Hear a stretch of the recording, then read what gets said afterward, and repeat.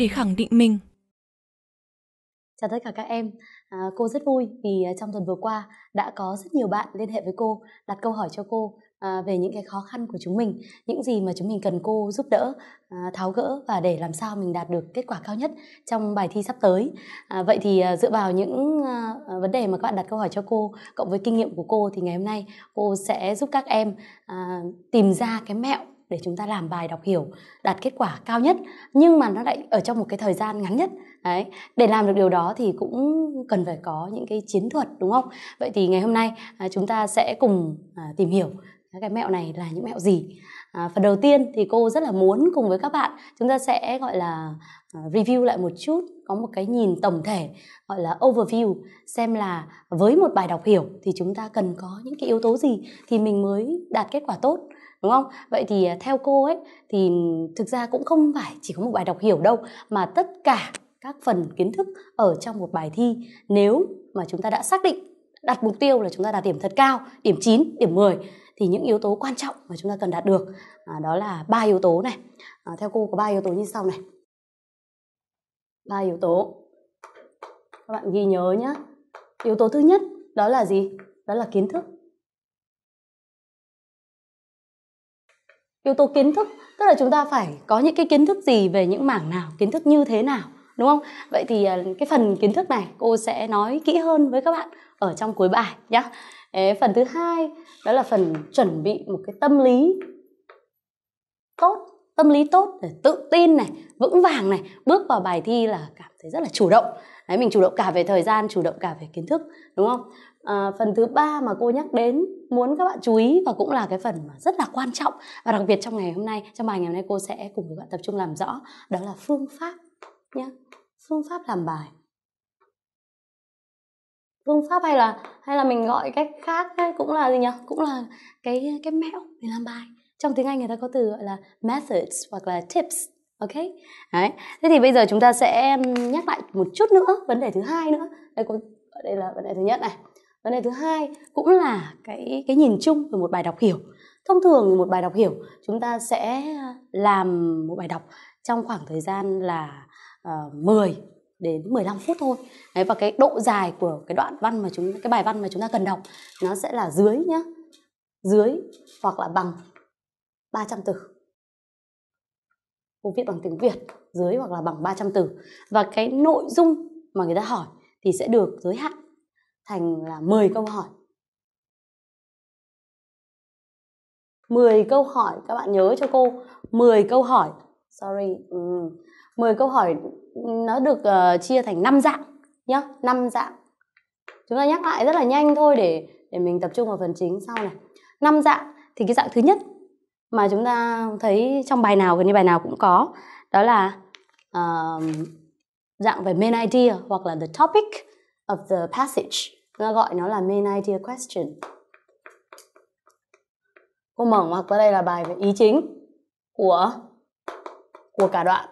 Dạng thứ hai, sorry.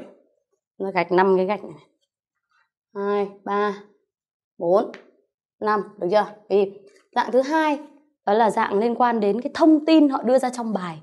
Hay nói cách khác, mình gọi tên bằng tiếng anh là factual question. Factual questions tức là những câu hỏi về thông tin đưa ra ở trong bài. Factual questions thì sẽ có những thông tin uh, positive và những thông tin là negative. Tức là những cái có nhắc đến và những cái không được nhắc đến ở trong bài.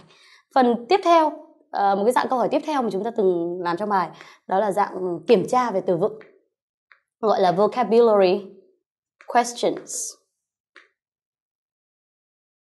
vocabulary questions phần kiểm tra từ vựng này thì người ta sẽ tập trung hỏi mình uh, những cái từ mà nó có nghĩa tương đương với từ này hoặc từ kia rồi là uh, từ nào có thể thay thế được từ này đó.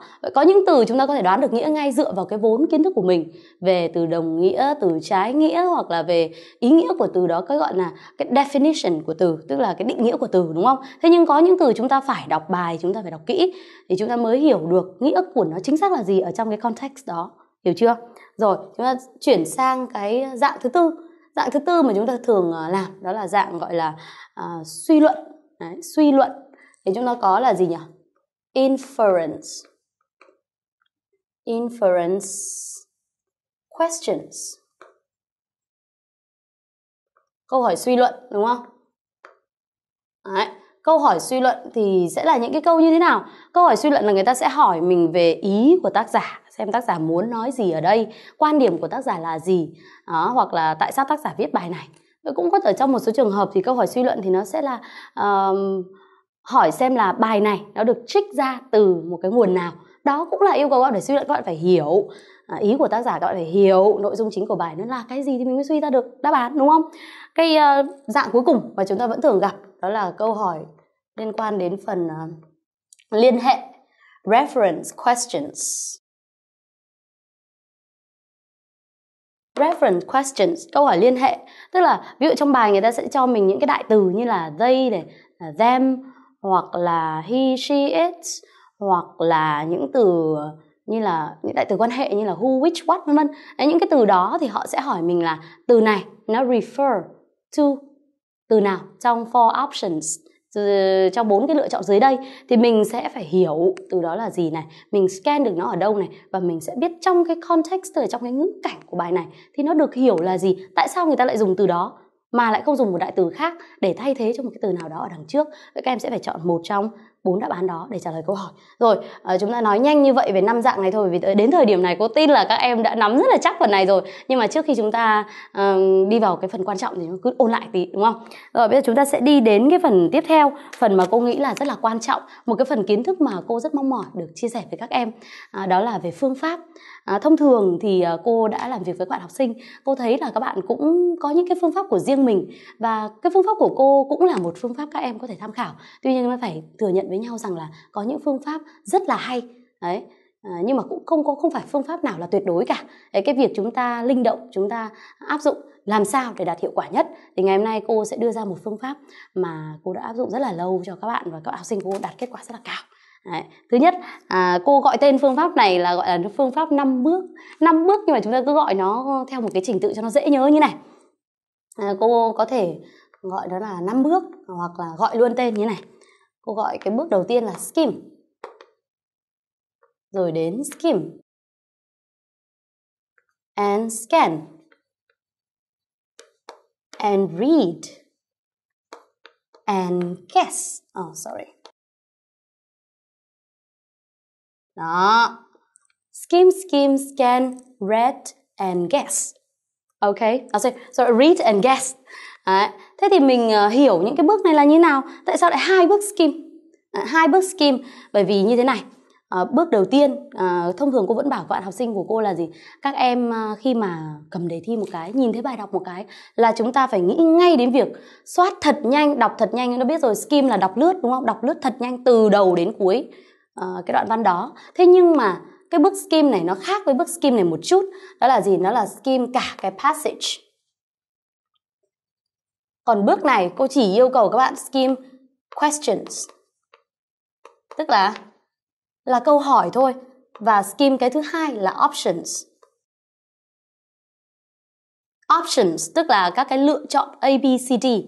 Đó chúng ta um, đi qua hai bước skim rồi chúng ta đến một bước gọi là scan. Scan này thì chúng ta scan cái keywords. Scan theo keywords tức là những cái từ khóa ở trong bài. Đấy, còn read là chúng ta đọc thật kỹ ở trong passage để tìm ra thông tin đúng không? Read information sorry. Cô viết tắt nhá. Information in the passage. Thông tin ở trong bài. Đấy còn guess thì of course you guess the answer đúng không nhỉ? Chúng ta đoán ra đáp án thôi.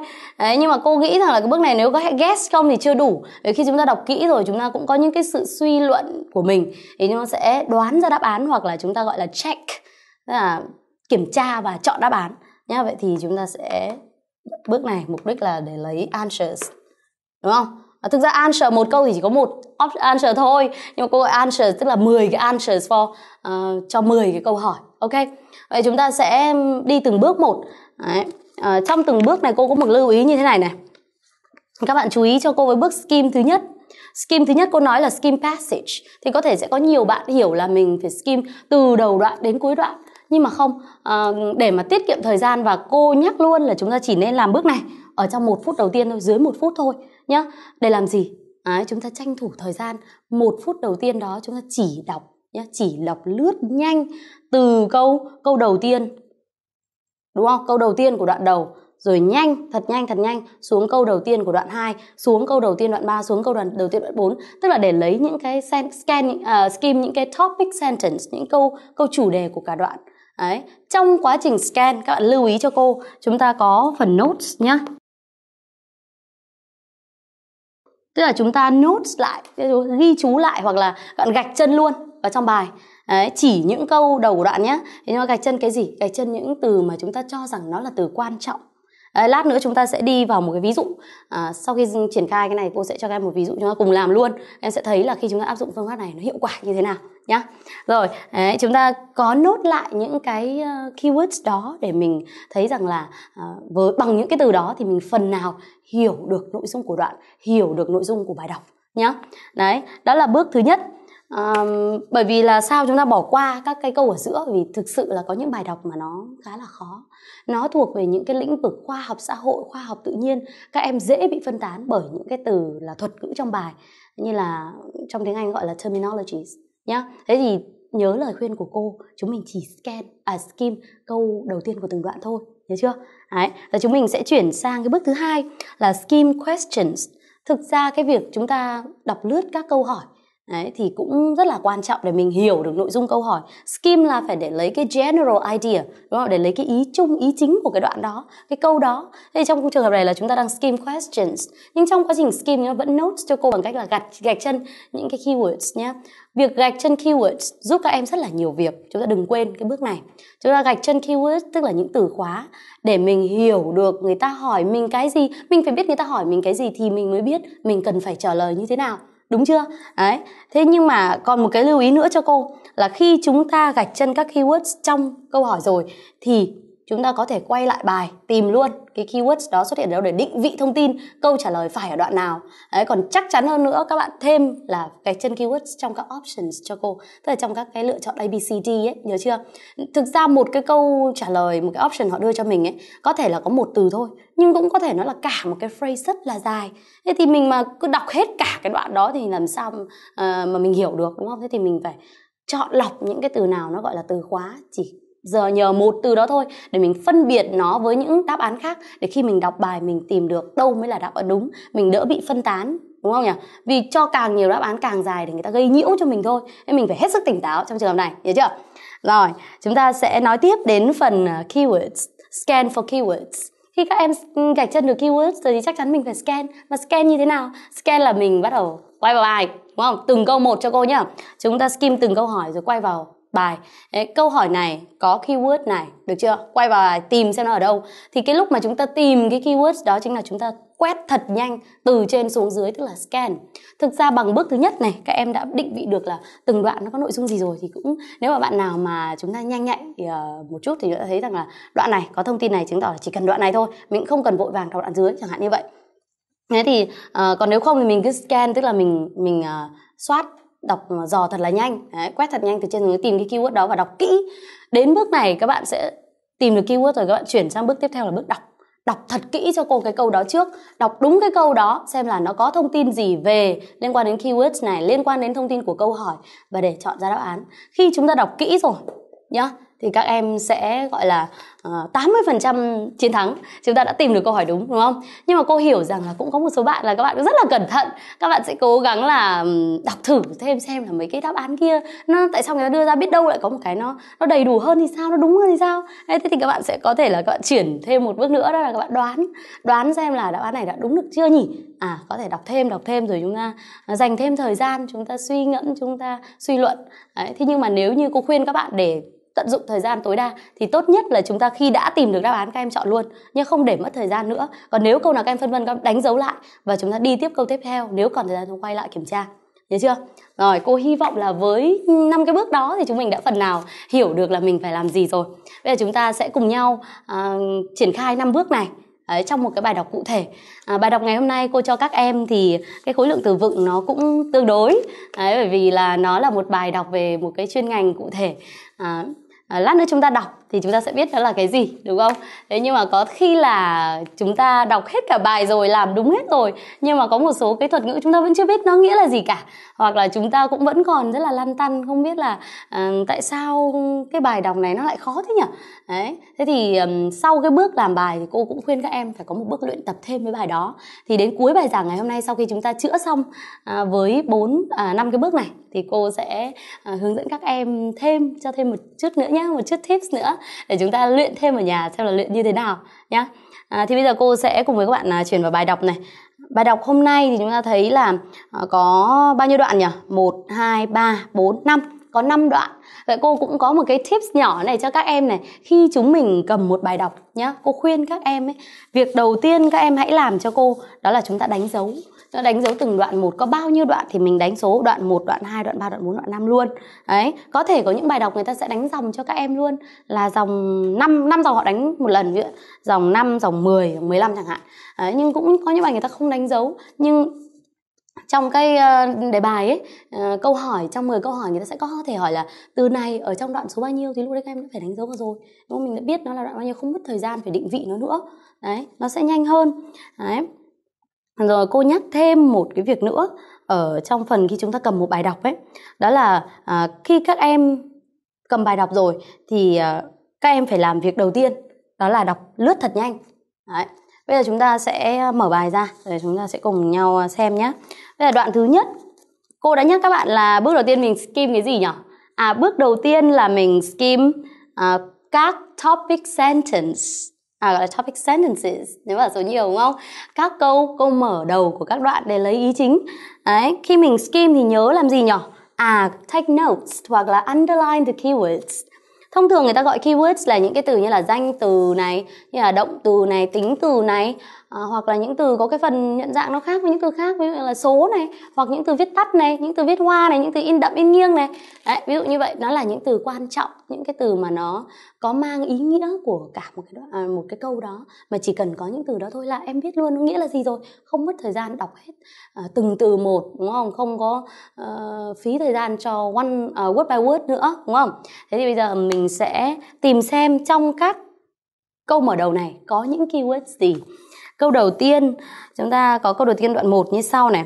According to the controversial sunspot theory, great storms on the surface of the sun hold streams of solar particles into the atmosphere, causing a shift in the weather on Earth.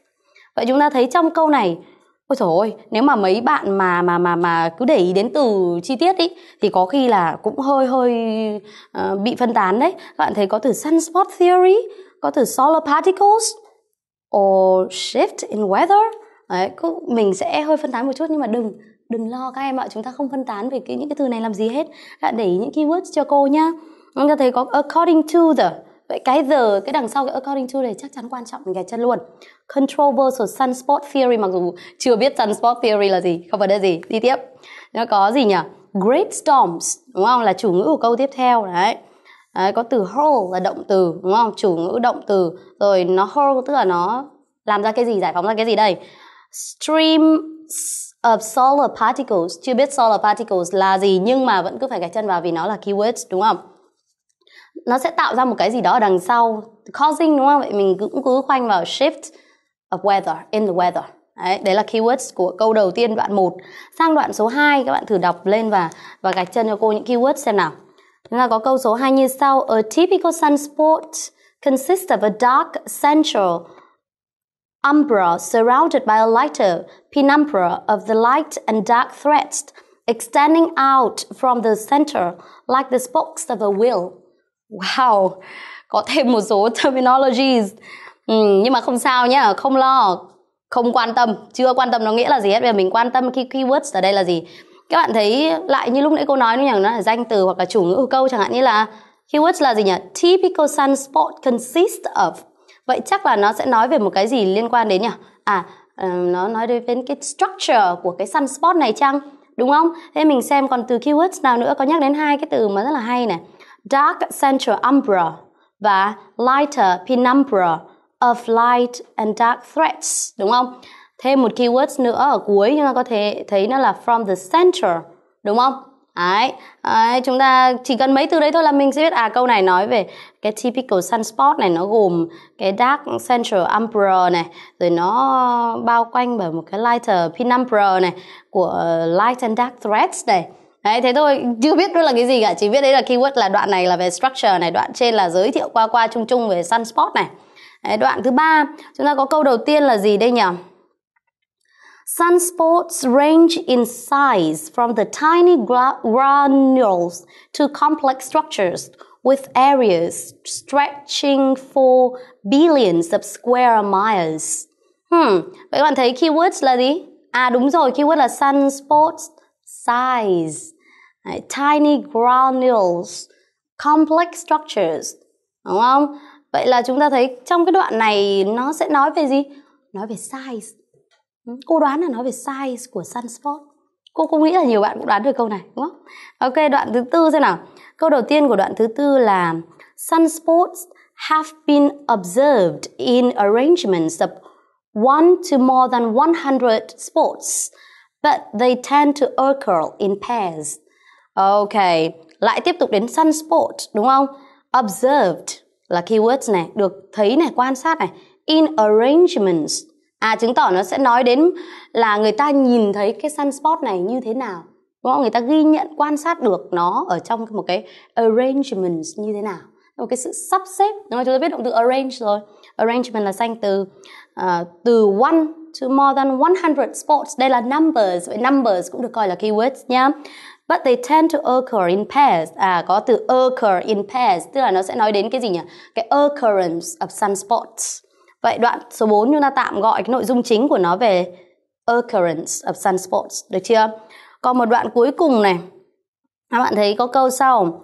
Although there is no theory that completely explains the nature and function of sunspots, several models attempt to relate the phenomenon to magnetic fields along the lines of longitude from the north to uh, and south poles of the sun Oh, wow, it's too long.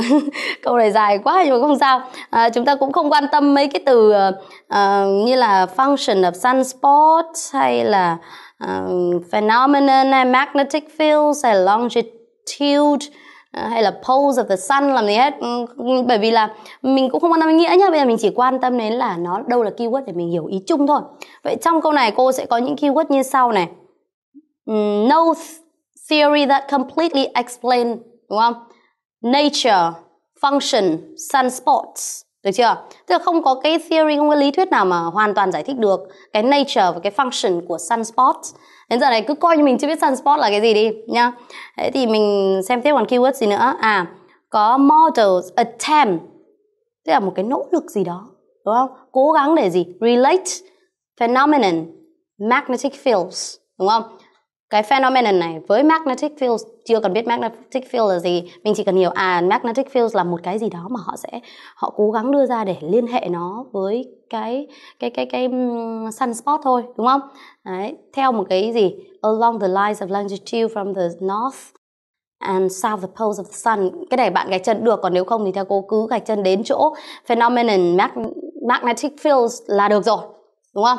Hoặc nếu không thêm lines longitude uh, North, South Poles và nhớ có từ the sun. Ok? Rồi, chúng ta đã hoàn thành bước thứ nhất đó là skim the passage and take notes. Thực ra cô giải thích thì các bạn thấy lâu thôi Nhưng nếu mà trong bài thi thực sự thì các em sẽ làm rất là nhanh Vì chúng ta đã bỏ câu bỏ qua những cái câu ở giữa rồi Chúng ta chỉ để ý đến câu đầu Đúng không? Vậy thì là cô tin rằng là chỉ dưới một phút thôi Là các bạn của chúng ta sẽ rất là nhanh chóng à, Gạch chân được các keywords này Và nhớ nhớ, nhớ trong đầu cho cô Vậy chúng ta đã có gì? Đoạn 1 là nói về sunspot theory này đoạn 2 chúng ta nói về gì? Chúng ta nói về sunspot structure này. Đoạn 3 chúng ta nói về sunspot size này. Đoạn thứ tư nói về sunspot occurrence, đúng không? Và đoạn thứ năm có lẽ là chúng ta gọi là là là cái, thực ra trong một cái bài văn có nhiều đoạn ấy, thì cái đoạn đầu thường là đoạn gợi mở ra vấn đề. Còn đoạn kết thì sẽ là cái đoạn đưa ra cái quan điểm, cái mục đích Ừ, gọi là hoặc là cái suggestions tức là cái cái đề xuất của người viết. Vậy đoạn này các em có thể gọi nó là cái purpose of author. Đoạn số 5 có thể là mục đích của tác giả viết. Bởi vì sao? Ông mới nói rằng là không có một cái theory nào để giải thích ừ, trọn vẹn. Nhưng mà uh, người ta đã cố gắng thế này thế kia. Đúng là tổng kết lại thôi. Trên đây tôi vừa nói cái gì và ý của tôi là như thế. Đúng không? Rồi uh, vậy là chúng ta đã có một cái nhìn tổng quát về bài đọc của mình. Cô tin là chỉ trong dưới một phút các bạn làm được bài này thì chắc chắn đến những câu hỏi ở phần dưới thì các bạn sẽ làm rất là tốt. Và bước skim này chúng ta chỉ làm, có thể nói là làm một lần duy nhất thôi, đó là bắt đầu khi các em cầm bài thôi. Bây giờ chúng ta bước vào các câu hỏi thì các bạn sẽ gần như là đã có sẵn một cái khung của bài ở sau cái bước skim này rồi. Thì các bạn hãy bây giờ chỉ tập trung vào skim questions. Nhớ cho cô là từng câu một nhé nhớ là khi mà skim questions sẽ là phải làm từng câu một. Đấy, có nhiều bạn là cô thấy các bạn cũng áp dụng cái cách cũng rất là hay. Đó là các bạn um, skim hết một loạt các câu hỏi. Đấy, đọc hết một lượt các câu hỏi xong người ta sẽ hỏi 10 câu hỏi những cái gì. Đấy thế xong rồi là các bạn xem là câu nào nó thuộc dạng nào. Ví dụ như có rất nhiều người cho rằng là những cái dạng factual questions này với vocabulary questions này với reference questions là những dạng dễ hơn so với inference hay là main idea. Hoặc là main idea các bạn cho là cái câu main idea thường là câu mình nó để cuối làm. Bởi vì sau một khi mà làm hết bài, nó đã hiểu sơ sơ nội dung rồi. Thế nhưng mà còn theo cô, nếu mà các em bắt đầu bằng cái cách skim passage như thế này thì nếu mà câu đầu tiên nó về main idea các bạn làm được luôn, không cần phải suy nghĩ, đúng không? Đấy. Thế thì uh, câu inference được coi là câu khó nhất, dạng khó nhất ở trong 10 câu hỏi. Thì các bạn có thể nếu thấy nó khó, nếu các em đi lần lượt mà thấy có câu nào khó, khó quá thì mình có thể đánh dấu để lại, đi tiếp rồi mình quay lại sau, đúng không? Còn nếu không cô phải gọi là highly recommend, tức là um, gọi là gì nhỉ? Rất là uh, mong là các em khuyến khích các em là chúng ta hãy đi đúng cái trình tự của câu hỏi đưa ra bởi vì thông thường đa số các câu hỏi họ sẽ phát triển Ừ, đưa ra mình, cho câu hỏi cho mình là từ từ đầu đến cuối, thông tin xuất hiện từ đầu đến cuối nhá. Chứ không cần việc về gì phải xáo trộn lên, thì tự mình lại làm nhiễu mình thôi, đúng không? Thế thì mình chú ý cho cô nhá. Thì chúng ta cứ đi theo cách này cứ đi lần lượt. Skim trước cả bài rồi bây giờ skim từng câu một và làm luôn bốn bước trong từng câu hỏi một nhớ chưa? Rồi bây giờ chúng ta sẽ đi vào từng câu hỏi một này.